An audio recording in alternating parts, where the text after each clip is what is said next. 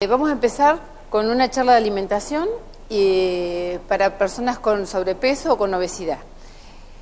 Eh, lo primero que tenemos que saber es que acá está representado el páncreas. El páncreas está mostrado acá como una fábrica. Es la fábrica de insulina que tenemos en el cuerpo. Esto sería una arteria, este recuadro rojo.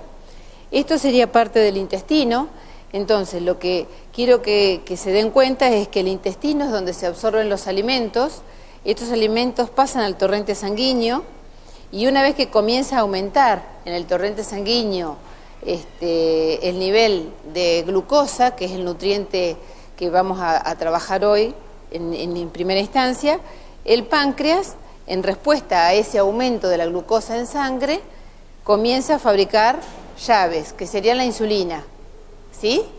Esa, insulina también circula por sangre y es la que abre las puertitas de las células para que la glucosa pueda entrar.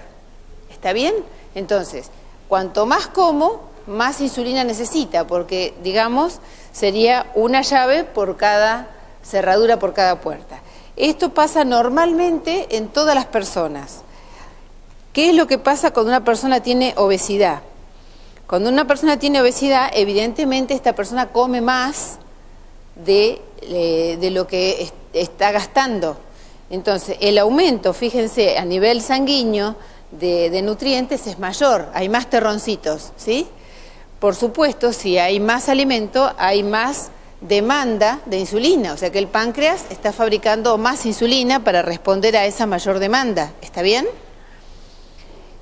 Esta fábrica empieza como a desmoronarse, como, para, como agotarse en la cantidad de producción de insulina que va haciendo y por eso el obeso que come mucho y demanda mucha cantidad de insulina, esto se debe a que necesita muchas llaves, mucha insulina para poder abrir las puertitas de la célula, justamente porque para decirlo de una manera práctica, es como que el receptor, la cerradura de esa, donde se, incorpora la llave, está como tapadito de grasa.